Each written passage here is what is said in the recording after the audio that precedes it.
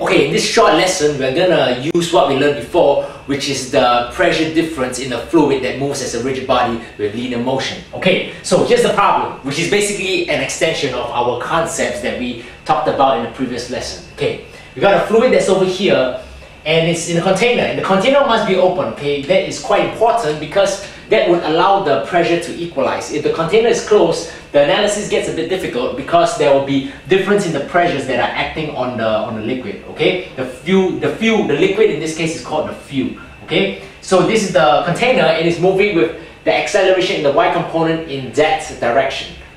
The width of the container is 1.5 feet, so we just label it half as 0.75 feet. On top of that, there's a transducer over there. Now, what's the transducer? Well, if you are in engineering or if you are in, in, the engineering business, sometimes when you transport liquids, you cannot allow the liquid to go below the transducer or else it will sound an alarm. That is to say that if the liquid is volatile, something bad might happen. So basically got a trans, trans, transducer over there. Okay, the height Z1's over here and the, the height of the fuel is 0.5 feet. Okay, the y direction is in that, that, that way, the z direction is that way, and the container, I repeat again, is moving with the acceleration ay over there. Okay, so we got the problem set up. First question, determine the equation of acceleration in the y direction and the pressure of the tra transducer, at the transducer. Basically, we're looking for the pressure over there. I don't know, it could be because the, the transducer only can withstand a certain pressure, okay? And the maximum acceleration before warning. Warning happens, as I say again, if the level falls below the transducer. It's very important in certain problems. Okay, this problem, quite straightforward, but I think to get the hang of it, let's just solve it uh, in a systematic way. When we left off last time, we found out that dz dy is equals to negative ay gravity plus az. Okay, this is the equation that we find from the basic equation applying the del operator uh, comparing the vectors. And dz dy in the axis that we have defined is the gradient of this line over here. Okay? So now we want to find a relationship between ay. We got ay over here, but pressure doesn't seem to be down here yet. Never mind, let's just deal with this equation and see whether we can reduce it somehow involving the depth Z1.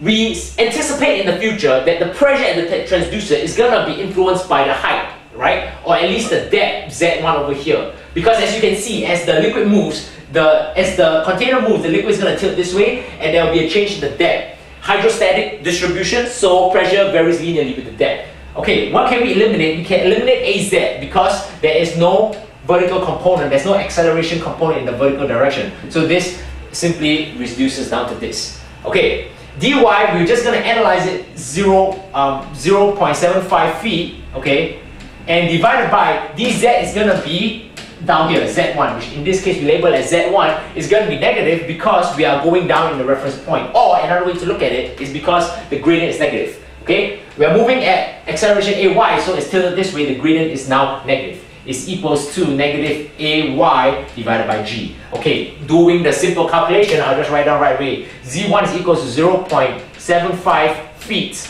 multiplied by ay divided by g. Okay, there we go.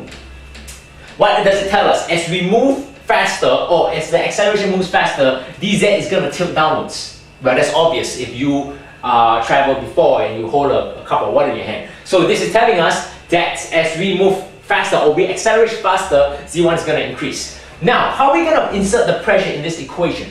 Let's just write this over here. Z1 is equals to 0.75 feet multiplied by AY divided by G. How are we going to insert the equation of the pressure? Remember, we are relating acceleration in the y direction and pressure.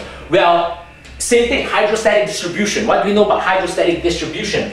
The pressure would vary linearly by the depth. Okay, so in this case it's specific weight times h. Okay, before I mention it, the fuel is given a designation specific gravity equals to 0.65. Bear in mind that specific gravity is very different from specific weight. Specific of gravity is the density of the liquid divided by the density of water. Okay, this is what specific gravity means. So let's take it from the equation over here. Height in this case we gotta be careful a bit because remember we're dealing with the pressure change in the liquid. Now, as the liquid is in this direction, takes this orientation, what is height? Height is the distance from the transducer to the liquid, okay? I hope we are aware of that. There is no point putting height as Z1 because Z1 is the empty space. It doesn't make sense. So we need to define height as the distance from the transducer to the point where the liquid touches the edge over there. So we got pressure. Okay, I'm going to rewrite the specific weight of the liquid because the information given is specific gravity. So specific weight is the density of the liquid divided by the density of water multiplied, sorry, sp the specific weight is the density of the liquid multiplied by gravity, correct? But that is not the information that we have. So we divide by the specific weight of, sorry, divide by the density of water multiplied by the density of water. So it will cancel out each other. See, this cancel out, so this is exactly the same as this. But the reason why I write it in this way, because this gives us the specific gravity, which is what we have. Gravity specific gravities here. G times the density of water can be easily calculated. Now, times by the height. Height is going to be the distance from here to here. That would mean that it would be 0.5 feet take away Z1.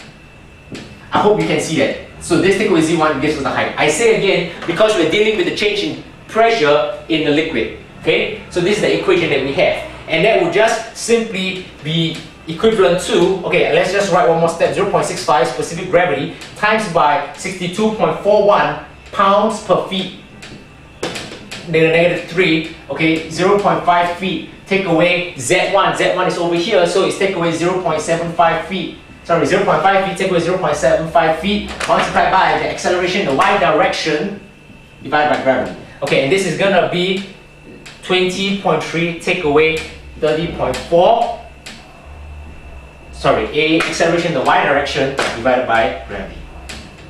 Okay?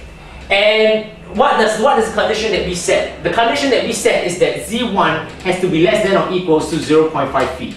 Because we cannot allow this point to drop below the transducer. It wouldn't make sense because of our definition of h. On top of that, what we need to do is that we need to, okay, that is fine so far. Yes, the pressure is going to be given by pounds per feet squared. Okay, taking care of the units. So, first question is done.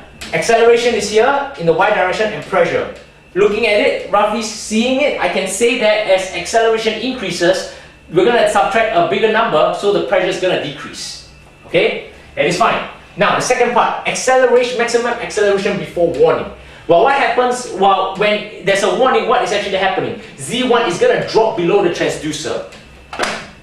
As we move faster, because Z1 is going to be defined by this, so as we move faster or we, we accelerate faster, Z1 is going to increase. Now if Z1 drops below the transducer, which is marked by 0.5 feet, the, the warning would sound. So we need the maximum acceleration, this limiting value over there. But that shouldn't be a problem because if you just know simple arithmetic, you will just put 0 0.5 into z1 equals to 0.75 multiplied by a y max divided by g.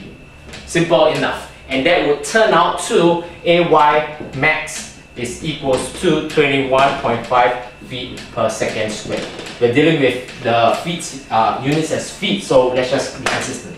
Okay, so this is A max over here. Simple enough, get the equation of Z1, substitute the critical value, in this case 0.5, to get the acceleration in the y direction max. Now, I know the problem has already been solved, but I just want to introduce one last concept over here.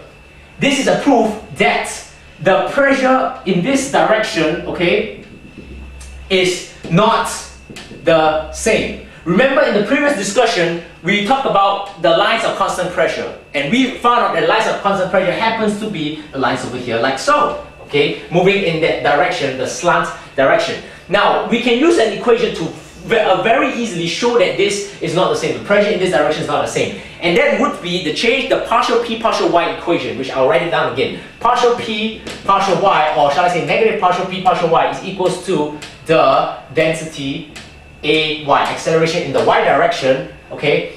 And if the fluid is moving in that direction, in the Y, in the Y direction, there's gonna be an acceleration, right? This acceleration times the density does not equals to zero.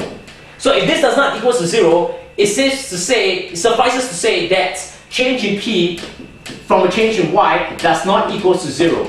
So if we move a point in liquid in the Y direction, because that's what we define it as, the change in pressure, there will be a change in pressure. So it will change. Yeah, the pressure will change, and therefore I can say that in this Y direction, the pressure is not equal. Basically, using the equation, the basic equation, the, the partial P partial Y. partial pressure due to a change in the y direction. Okay, simple problem solving a fuel, sorry, fuel moving in a container. And there we go. I should have labeled it a fuel in a moving container, but I hope you get the gist of it. Okay, recap again. Just use the basic equation that we have, which is dz dy. dz dy is equals to the acceleration y component negative, gravity plus az.